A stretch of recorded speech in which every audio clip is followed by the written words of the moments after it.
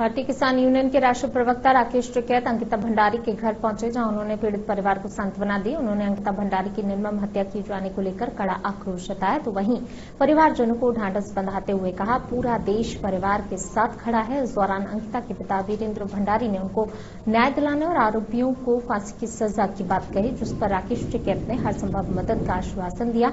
पौड़ी गढ़वाल से भगवान सिंह की रिपोर्ट।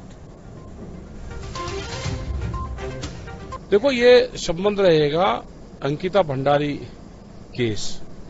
इसकी सीबीआई जाँच हो। जो तथ्य छुपाए जा रहे हैं, वे सामने जाए जाए।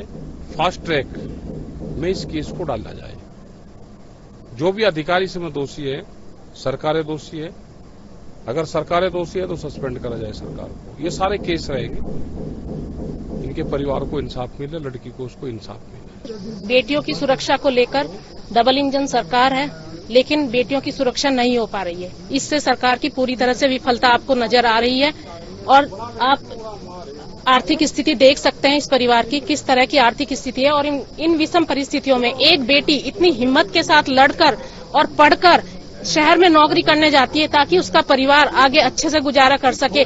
लेकिन इस दे, इस देश में इतना भ्रष्टाचार और इस राज्य में इतना भ्रष्टाचार कर दिया गया है कि वो वो उन भ्रष्टाचारियों के और उन लोगों के चंगुल से निकल नहीं पाई और वो लड़की आखिरी दम तक लड़ती रही अपने उसके लिए।